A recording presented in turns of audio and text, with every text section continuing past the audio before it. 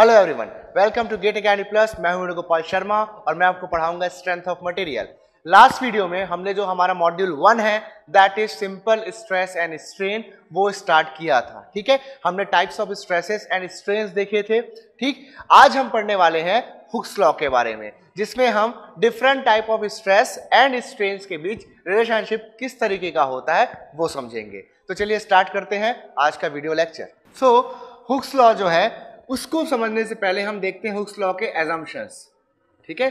तो इसके कुछ एजम्पन्स हैं। फ़र्स्ट एजम्पन है, जो मटेरियल है, उसका केमिकल कंपोजिशन कांस्टेंट है throughout so chemical composition chemical composition is constant throughout okay then जब लोडिंग करी जाएगी, उस समय टेम्परेचर में कोई चेंज नहीं किया जाएगा। ठीक है? There is no change in temperature there is no change in temperature in temperature during loading यानी कि कांस्टेंट टेम्परेचर को कांस्टेंट रखते हुए हम लोड्स की एनालिसिस करेंगे स्ट्रेसेस एंड स्ट्रेन की एनालिसिस करेंगे। Then there is no stress concentration, there is no stress concentration. ठीक है? इसको समझते हैं कि स्ट्रेस कंसंट्रेशन का क्या मतलब होता है। हमने देखा था कि जो स्ट्रेस होता है, चाहे किसी भी तरीके का स्ट्रेस हो, मैं उस स्ट्रेस की बस बात कर रहा हूँ। स्ट्रेस होता है आपका resisting force upon the area okay अब हम जानते हैं कि भले हम किसी भी मेंबर का, किसी भी रॉड का, किसी भी चीज़ का क्रॉस सेक्शन लिया, भले हम लोग ले ले के सेम है सरफेस को हम उसका स्मूथ ले लें, लेकिन ऐसा नहीं हो सकता, ठीक है? देखिए, जैसे कि यहाँ पर मैंने लिया है prismatic bar prismatic bar prismatic bar किनको बोलते हैं? ऐसे बार्स या ऐसी चीज़ें जिनका cross section throughout their length और throughout their longitudinal axis constant होता है, उसको प्रिज्मेटिक बार कहा जाता है प्रिज्मेटिक कहा जाता है उसको। प्रिज्मेटिक वर्ड जो है वो प्रिज्म से डिराइव हुआ है। जैसे कि हम जानते हैं प्रिज्म का जो क्रॉस सेक्शन होता है, वो throughout the length same होता है। दैट्स वाई प्रिज्म से डिराइव हुआ है प्रिज्मेटिक बार ओके तो अगर किसी मेंबर का cross section throughout the length same है तो उसे मैं प्रिज्मेटिक बोलूँगा। तो मैंने अभी यहाँ पर इसको प्रिज्मेटिक लिया है। तो किसी प्रिज्मेटिक बार का अगर क्रॉस सेक्शन एरिया ए है, और उस पर मैं अगर पी फोर्स लगाऊँ so stress will be P by A but अब यहाँ पर ध्यान दिया जाए कि जब मैं इसको सरफेस की बात करता हूँ, किसी रियल ऑब्जेक्ट की, किसी रियल बॉडी के सरफेस की बात करता हूँ तो हम जानते हैं जो सरफेस होता है, वो रेगुलर नहीं होता, उसमें इरेगुलरिटीज रहती है सरफेस परफेक्टली स्मूथ नहीं हो सकता। यानी कि अगर मैं इसको माइक्रोस्कोपिक लेवल पे देखूँगा, इसके सरफेस को तो मुझे कुछ इस तरह के वेवी एजेस दिखाई देंगे। ठीक है? तो जब मैं माइक्रोस्कोपिक लेवल पे जाता हूँ, तब देखता हूँ कि भाई इसके सरफेस जो है, वो परफेक्टली स्मूथ नहीं है।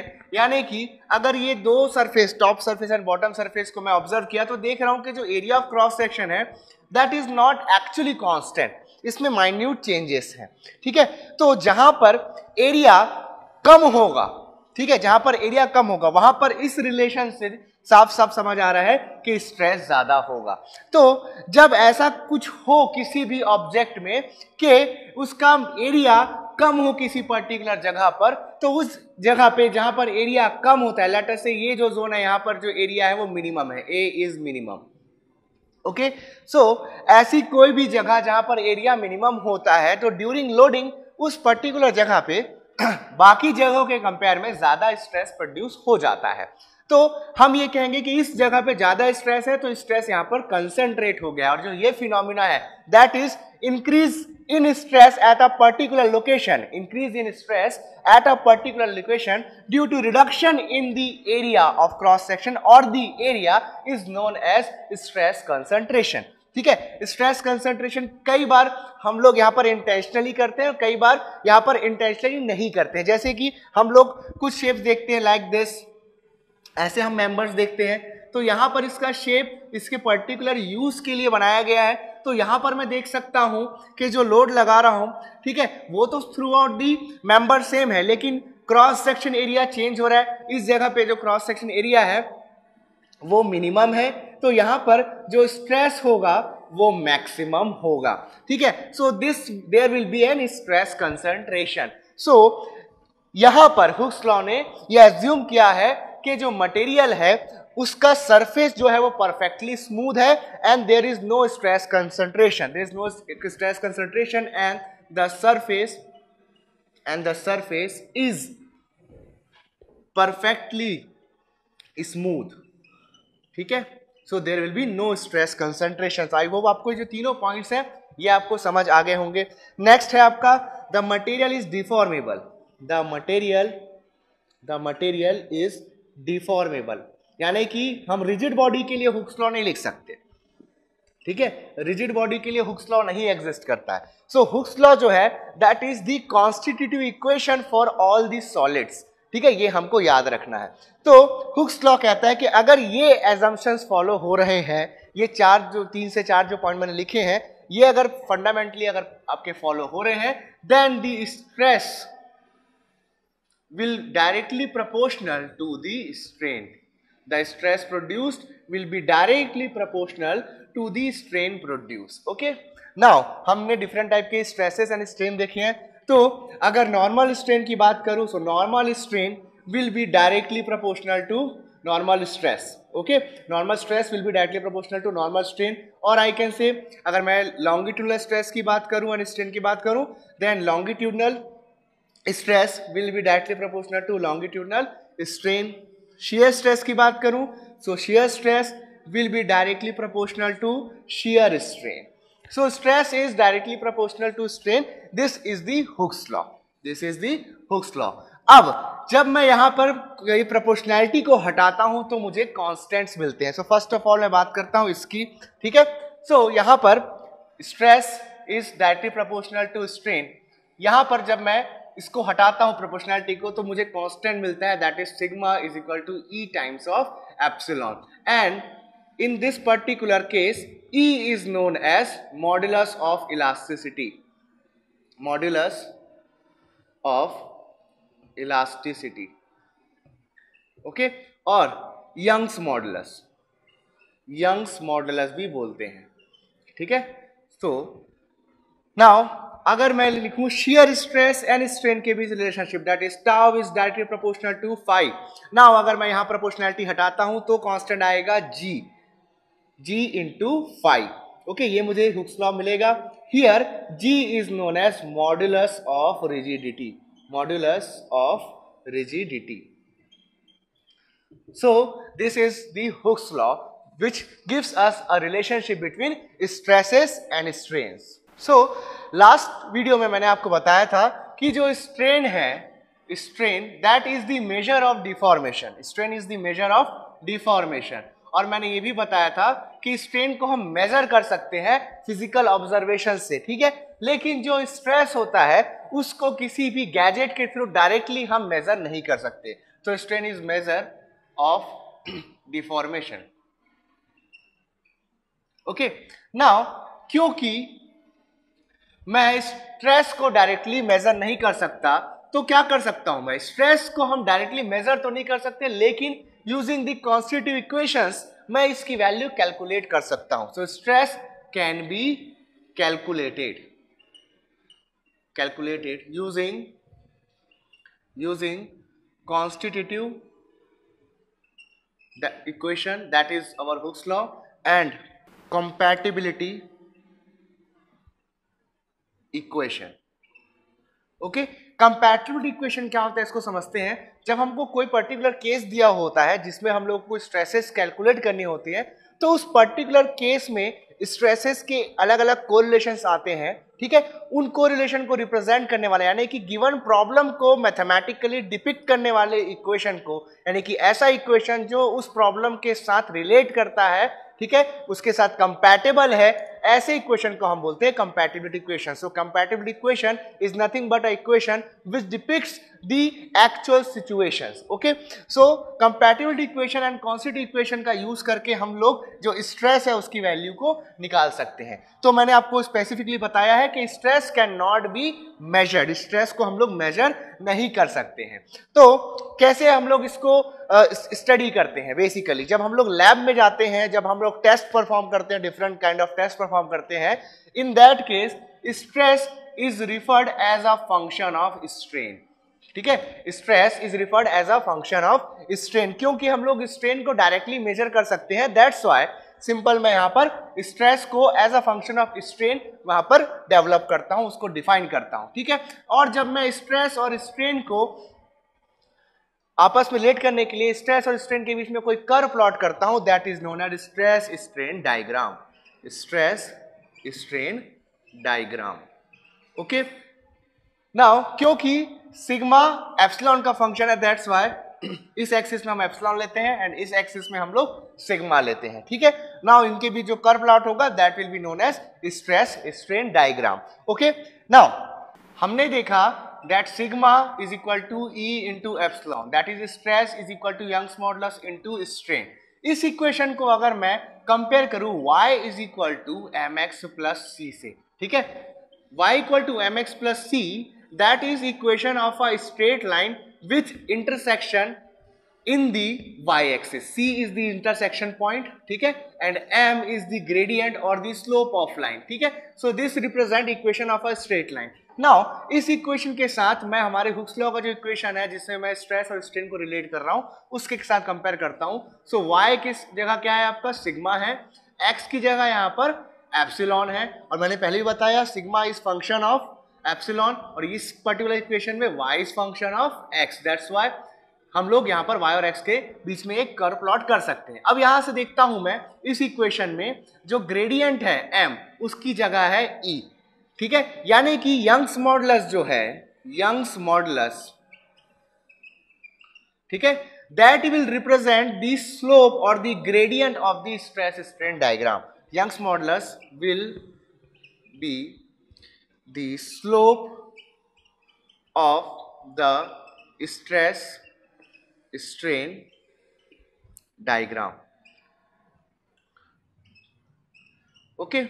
तो ये हमको यहाँ से समझ आता है। अब इस इक्वेशन को जब मैं ऑब्ज़र्व करता हूँ तो यहाँ देख रहा हूँ कि जो C की वैल्यू है दैट इज़ ज़ीरो तो अगर मैं स्ट्रेस स्ट्रेन डायग्राम प्लॉट करता हूँ किसी भी ऐसे मटेरियल के लिए, जो कि हुक्स लॉ को कंप्लीटली फॉलो करता है इन दैट केस जो इंटरसेक्शन पॉइंट है दैट इज़ एट ओरिजिन यानी कि जो लाइन मिलेगी वो ओरिजिन से पास आउट होगी यहाँ से पास आउट होगी और वो एक इंक्लाइन स्ट्रेट लाइन होगी so this line represent a linear a linear elastic material linear elastic material that is a material which follows the Hooke's law. A material, a material which follows Hooke's law. ऐसा material जो Hooke's law को follow करता है that is known as linear elastic material क्यों?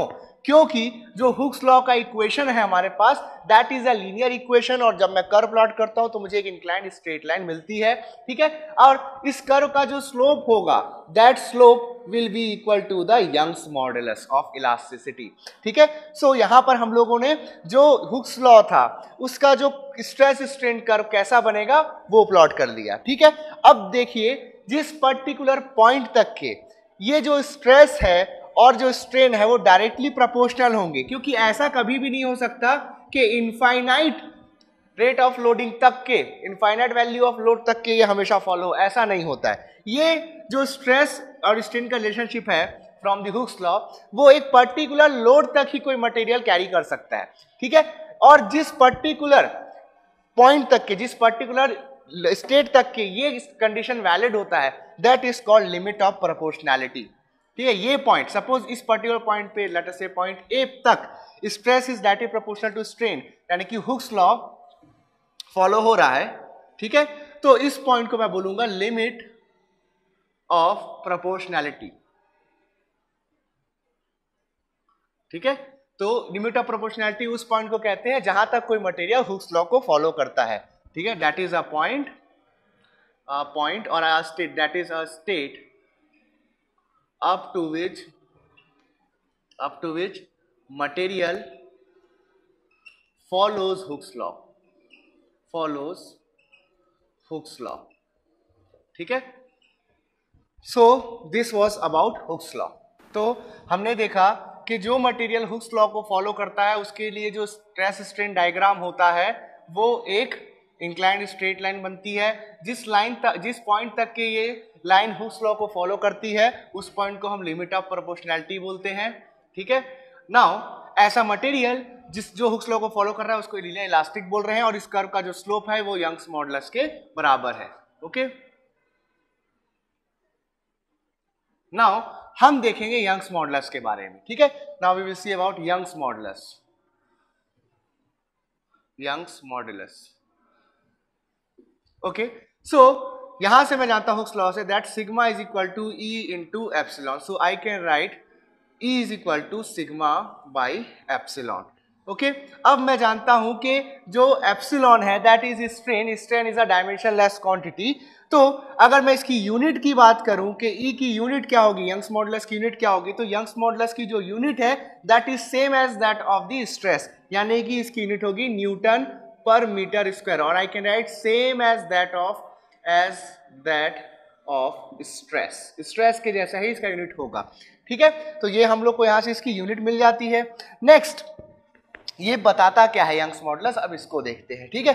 Now मैंने आपको बताया कि इस इक्वेशन को दैट इज़ हुक्स लॉ के इक्वेशन को जब मैं कंपेयर करता हूँ लाइन के इक्वेशन से तो मुझे पता चल गया कि जो ई e है that represent the slope of the stress strain curve stress strain diagram now अगर मैं दो मटेरियल्स ले लूँ, ठीक है? Let us say material A and material B material A का जो यंग्स मॉडलस है that is E one and material B का जो यंग्स मॉडलस है that is E two now if I will plot the stress strain curve for the comparison between A and B so क्योंकि अगर E1 बड़ा हो E2 से तो in that case जो A के लिए स्ट्रेस स्ट्रेन डायग्राम बनेगा, वो थोड़ा स्टीप होगा.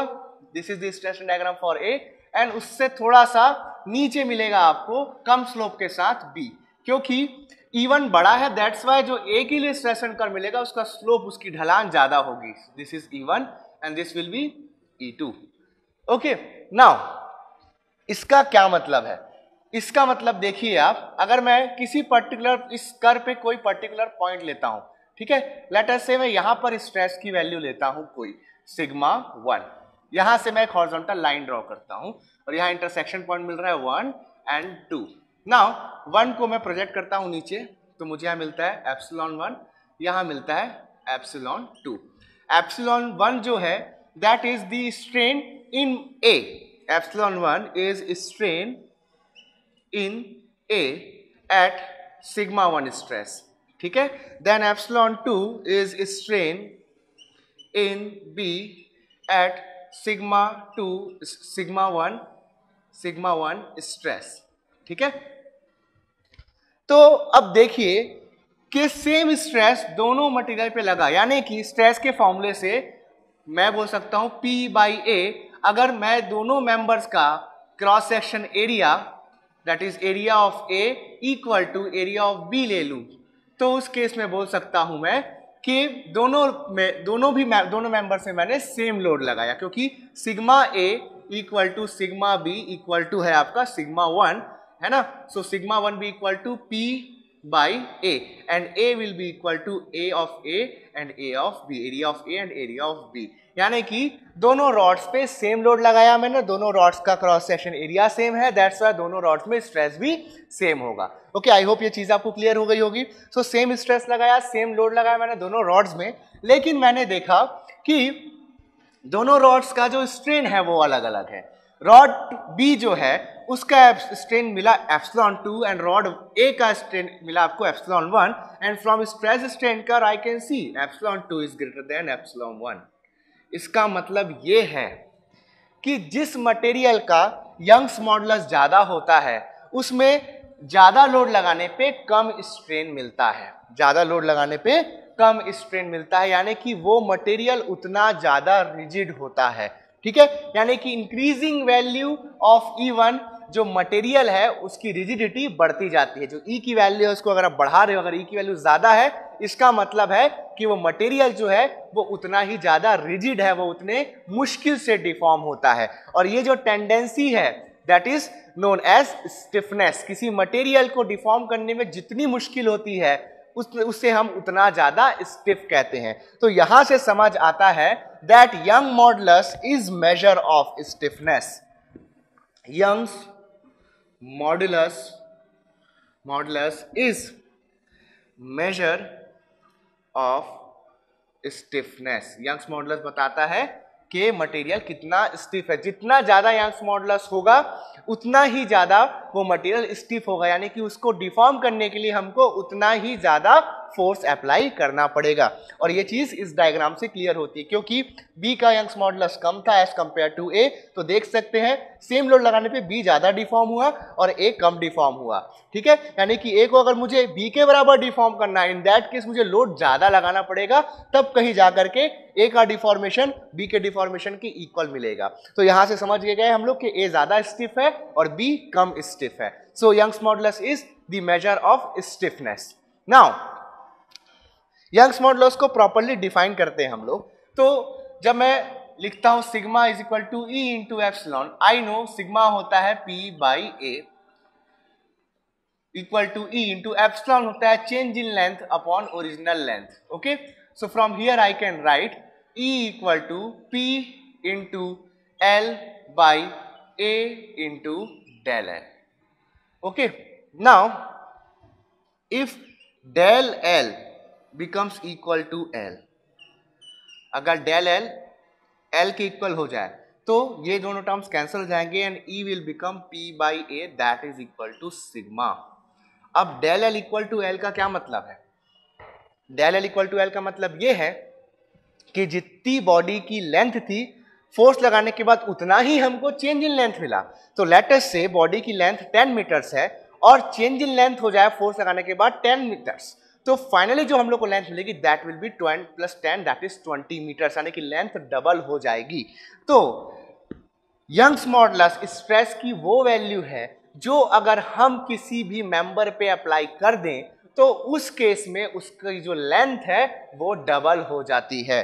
Okay so Young's modulus Young's modulus Young's modulus is the value the value of stress which can double which can double the length which can double the length of the member okay so this is about the young's modulus अब हम देखते हैं elastic materials and plastic material जैसे कि मैंने बताया ऐसा material जो हुक्स लॉ को फॉलो करता है, उसे हम लीनियर इलास्टिक मटेरियल बोलते हैं। तो यहाँ पर इलास्टिक मटेरियल क्या होता है, इसको समझना बहुत ज़रूरी है, ठीक है? तो इलास्टिक मटेरियल्स ऐसे मटेरियल को बोलते हैं जिसमें इलास्टिसिटी होती है। इलास्टिसिटी को हम और डिटेल में देखेंगे जब हम लोग मैकेनिकल प्रॉपर्टीज़ पे जाएँगे, okay?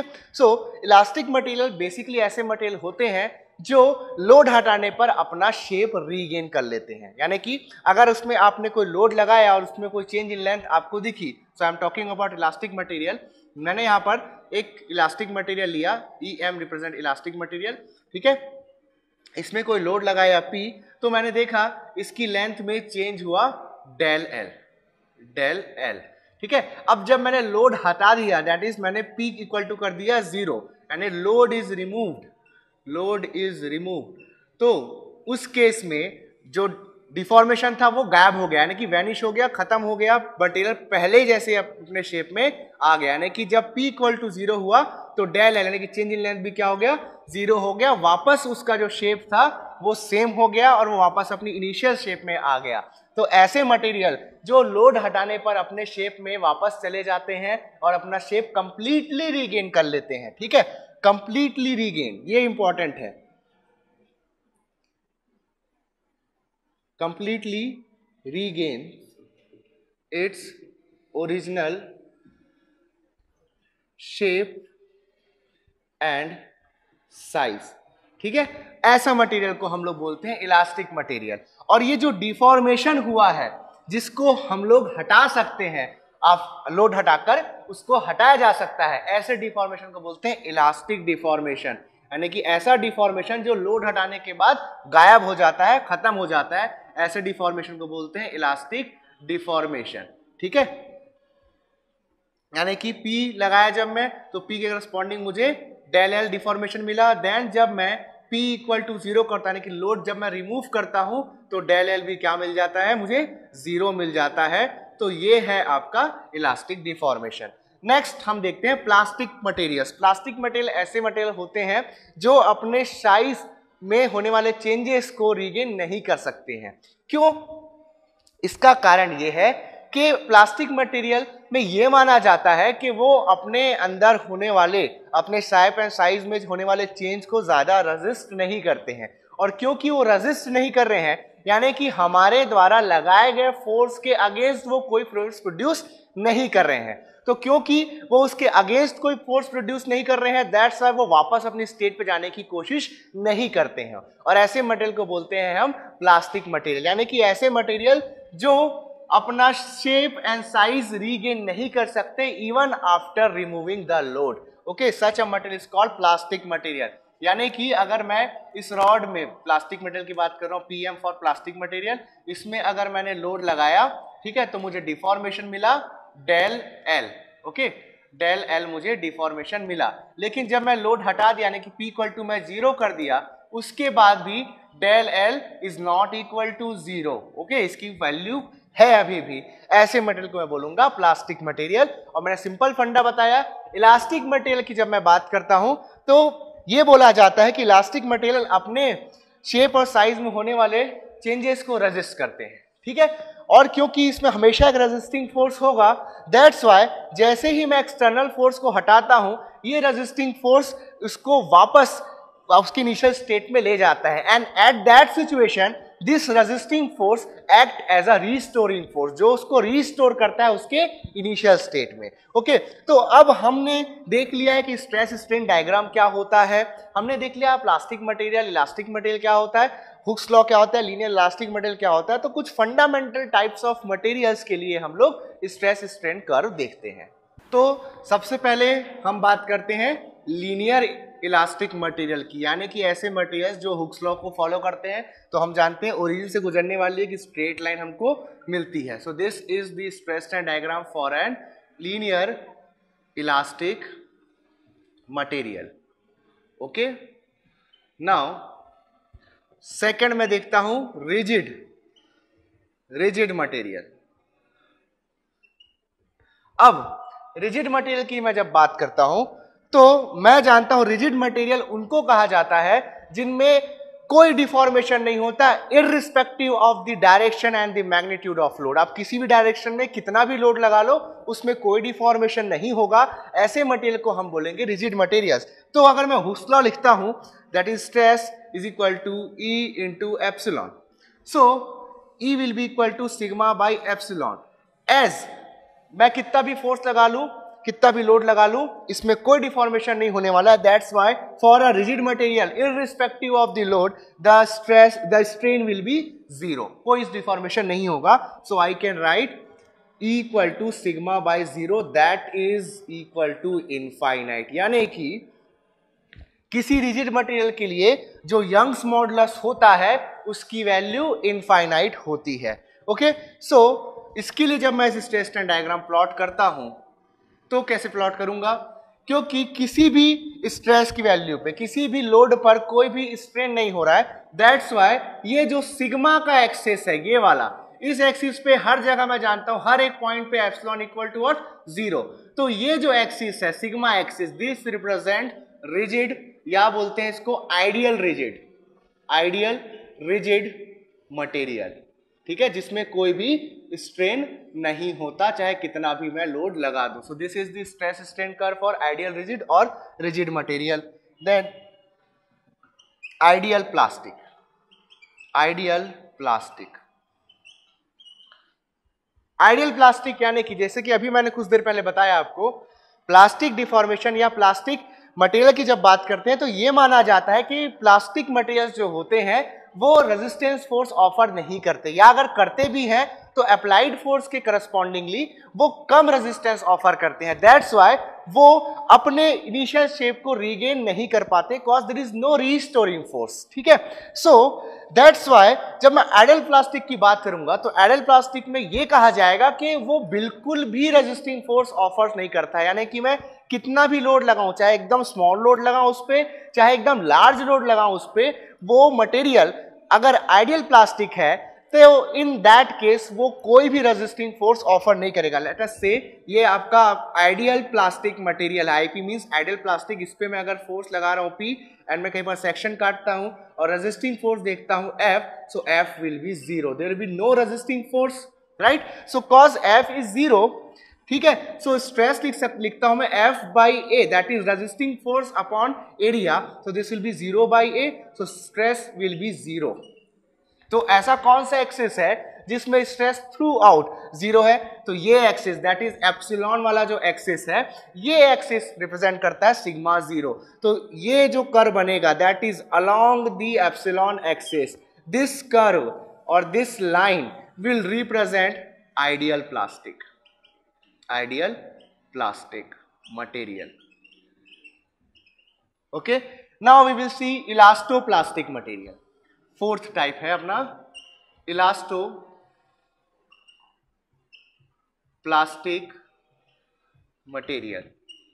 यानी कि ऐसे मटेरियल जो कुछ पर्टिकुलर रेंज तक के इलास्टिक बिहेवियर देते हैं then after a certain range वो प्लास्टिक बिहेवियर देने लग जाते हैं। सो so, इस तरीके का मैं देख रहा हूँ। यहाँ तक इसने हुक्स लॉ फॉलो किया इलास्टिक बिहेवियर दे रहा है। देन ये दे रहा है प्लास्टिक डिफॉर्मेशन, ठीक है? तो इसके कई पॉसिबिलिटी है, ये इस तरीके का जा सकता है। This is also a plastic deformation अगर मैं कह रहा हूँ, इस पॉइंट को इलास्टिक लिमिट इस पॉइंट को मैं कहूँगा इलास्टिक लिमिट तो इसके बाद जो भी हमको कर मिलेगा, वो प्लास्टिक डिफॉर्मेशन को शो करेगा। What does it mean by elastic limit elastic limit उस पॉइंट को कहते हैं, जिस पॉइंट तक अगर मटेरियल को लोड कर दिया जाए तो वो अपने elastic that is elastic behaviour show करता है। यानी कि इस पॉइंट पे अगर मैं इस इस पॉइंट तक इसको लोड करूँ इलास्टिक लिमिट तक इसको लोड करूँ देन लोड में रिमूव कर दूँ तो वो अपना शेप और साइज़ कंप्लीटली गेन कर सकता है। लेकिन अगर मैं इस पॉइंट से ज़्यादा स्ट्रेस लगा दूँ, ज़्यादा लोड लगा दूँ उसमें तो वो वापस अपने प्रीवियस शेप में नहीं आ पाएगा, उसका इलास्टिक बिहेवियर कम या फिर खत्म होने लग जाएगा। तो ऐसे पॉइंट को बोलते हैं elastic limit that is elastic limit a point up to which up to which मतलब यहाँ से लेकर के यहाँ तक। So elastic limit is a point up to which a material shows elastic behaviour ठीक है? उसके बाद इलास्टिक बिहेवियर नहीं होगा। मतलब इधर का जो जोन होगा, ये प्लास्टिक डिफॉर्मेशन होगा। ठीक है? प्लास्टिक डिफॉर्मेशन होगा। So this is a typical elasto plastic material and this is the stress strain diagram ठीक है? नाउ ये भी हो सकता है कि ये कर्व फ्लैट हो। मतलब प्लास्टिक बिहेवियर का कर्व ऐसा ना बन करके ऐसा बने यानी कि हॉरिजॉन्टल बने। और हॉरिजॉन्टल हम जानते हैं आइडियल प्लास्टिक मटेरियल के हम लोग शो करते हैं ठीक है? तो ये मट, ये जो बिहेवियर है that is known as elasto plastic और इलास्टो आइडियल प्लास्टिक बिहेवियर ठीक है? सो so, अब देखते हैं हम रिजिड प्लास्टिक और परफेक्टली प्लास्टिक मटेरियल ठीक है?